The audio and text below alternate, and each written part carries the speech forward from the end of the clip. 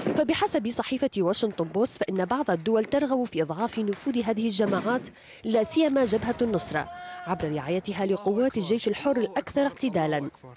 الأسلحة الجديدة تعتبر الأولى من حيث نوعيتها التي دخلت النزاع في سوريا ووفرتها قوى خارجية وفقا لخبراء عسكريين متابعين لتطور استخدام الأسلحة في سوريا من دون تحديد مصدرها. رغم اعتراض واشنطن المعلن على تسليح المعارضة إلا أنها تقدم دعما مهنيا وتدريبا عسكريا على طرق القتال بحسب الواشنطن بوست أيضا. بعض الخبراء العسكريين أشاروا إلى أن النجاحات التي حققها الثوار أصبحت ملموسة.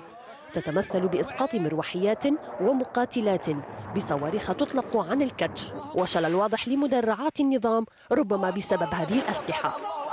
الأسلحة التي حصل عليها الثوار منها مضادات دروع قادرة على تدمير دبابات النظام الروسية الصنع. عن مسافة تتجاوز 300 متر ويصل في بعض الحالات إلى 1500 متر.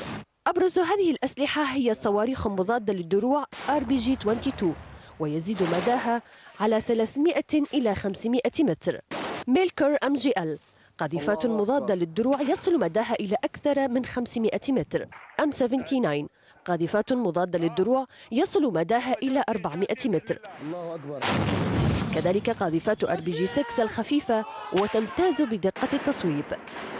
رفاه السعد العربية. ومعي من اسطنبول لؤي المقداد منسق السياسي والإعلامي للجيش السوري الحر. مرحبا بك سيد لؤي.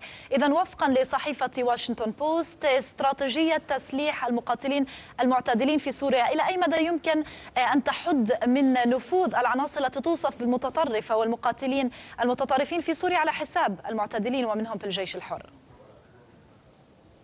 من البداية قد وجهنا رسالة إلى جميع الدول التي تريد أن تدعم الثورة السورية وتقف في, بصف بجانب الشعب السوري بوجه نظام بشار الأسد. أننا نستطيع توفير تأمين هذه العدات التي سنستلمها.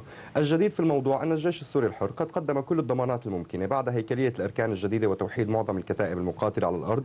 ضمن آلية معينة وهيكلية معينة بأن أي سلاح سيتسلم من قبل الجيش السوري الحر سيكون بعهدة ضباط متخصصين وعناصر منضبطة منظمة سي... لن يخرج هذا السلاح أبدا عن السيطرة ولن يقع في أي أي أي تنظيمات غير منضبطة. وقد قلنا لهم أننا نستطيع توفير جميع أنواع التعهدات من تعهدات خطية حتى وقلنا لهم نحن مستعدين لاستقبال أي خبراء يعني لأكون صريح جدا.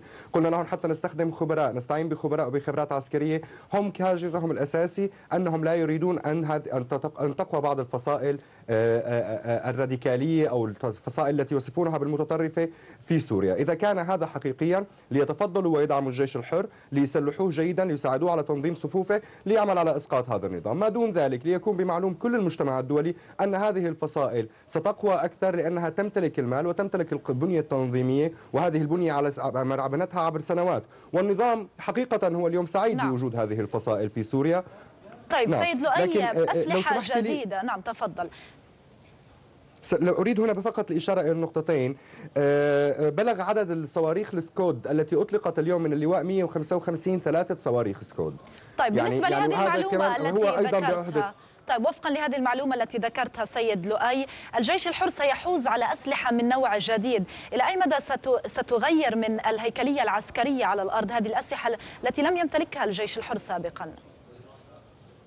إذا كان هاجس المجتمع الدولي حقيقة بنية الجيش السوري الحر وتقويته على الأرض بأن يكون جيش وطني منضبط أنا أنا أنا أعتقد أن هذه الأسلحة إذا وفر الأسلحة والدعم للجيش السوري الحر كل مقاتلي الجيش الحر وكل مقاتلي الفصائل حتى الفصائل المتطرفة سيكونون ضمن عتاد ضمن عديد الجيش السوري الحر. لسبب بسيط أن هذه الفصائل أساسا قامت قامت على أساس أن الجيش السوري الحر لا يملك التمويل الكافي ولا التسليح الكافي.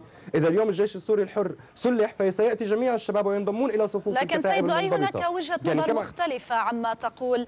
البعض يرى بأن هناك خشية من تحول صراع بين الجيش الحر والجماعات التي توصف بأنها متطرفة والتي صنفت بأنها إرهابية عالميا مثل جبهة النصرة وغيرها من المقاتلين غير المنظمين على الأرض. أنا أجده تهويل إعلامي فقط تهويل إعلامي يعني لا يغدو كونه كم تعداد جبهة النصرة اليوم في سوريا؟ أنا أنا بغض النظر أنتقدهم أم لا. قد أختلف أنا وياهم برؤيتي للشكل ومستقبل سوريا لكن بالنهاية في سوريا؟ نريد أن نعرف من كم تعداد بنيتهم بنيت بنيتهم الصلبة كانت منذ أربعة أشهر لا تتجاوز 1300 مقاتل في كل سوريا. أنت تتكلمين عن بلد مساحته 185 ألف كيلو وتعتاد سكانه 25 مليون. بلد عمره سبعة آلاف سنة. إذا به ألف مقاتل لجبهة النصرة يعني هذا يحدث آه، آه، آه، خلل عند المجتمع الدولي. بكل الأحوال هذا النسيج غريب عن بنيان المجتمع السوري. المجتمع السوري هو من الممكن أن تكون غالبيته مسلمة معتدلة. نحن مجتمع وسطي عمرنا في هذه الأرض آلاف السنين. نحن اليوم الذي نقوله إذا سلمت لنا هذه الأسلحة وبطبيعة الأحوال إذا كانت بدأت بالتسليم نحن نقول هذه الأسلحة ستكون منضبطة وجهتها الوحيدة هي إسقاط نظام بشار الأسد وهي حتى أطمئن الجميع يعني. هذه الأسلحة يعني مهما بلغ شأنها هي ستبقى أسلحة دفاعية. إذا لاحظت التقرير حتى تقرير الواشنطن بوست وما فيه من من من, من البهارات الإعلامية هو يقول عن أسلحة مضادة للدروع مضادة للطيران هو لا يتكلم عن أسلحة هجومية. لا أعتقد أن الولايات المتحدة الأمريكية ستقدم لنا دبابات أو طائرات. بالنهاية هم سيعطونا الأسلحة فقط لندافع عن أنفسنا. يعني حتى الدفاع عن أنفسنا هم يعتبرونه طيب. منا وفضل عظيم. سيد لؤي بالإشارة إلى لكن قلة أشير نعم بالإشارة إلى قلة جبهة النصر عددهم على الأرض. لكن جبهة النصرة لها بحسب مصادر الثورة السورية بأن لها الكثير من الإنجازات على الأرض وخاصة في شمال سوريا في حلب والمعارك الآن. يعني هناك بالنسبة للجراح وأيضا مطار النيرب العسكري هناك. أنا لا أنكر جبهة النصرة قد شاركت بأغلب المعارك القوية في في شمال سوريا. يعني من الفوج 46 إلى مطار تفتناز إلى إلى الجراح إلى مطار النيرب قد كانت جبهة النصرة مشاركة. سنقول الحقيقة كما هي لكن جبهة النصرة تمتلك موارد تمتلك آلية تنظيمية منذ البدايات نحن لم نقل أننا على الأرض ضد جبهة النصرة لا بالعكس جبهة النصرة تساعد في بعض الأعمال. لكن نحن نقول أن هناك فكر مختلف يمتلكه الجيش الحر. هناك فكر مدني هناك فكر لبناء دولة ديمقراطية هناك فكر لصندوق الاقتراع. جبهة النصرة لا تمتلك هذا الفكر. جبهة النصرة بالأساس يا سيدتي يعني يعني يعني كفاهم كذبا على العالم وتهويلا علينا.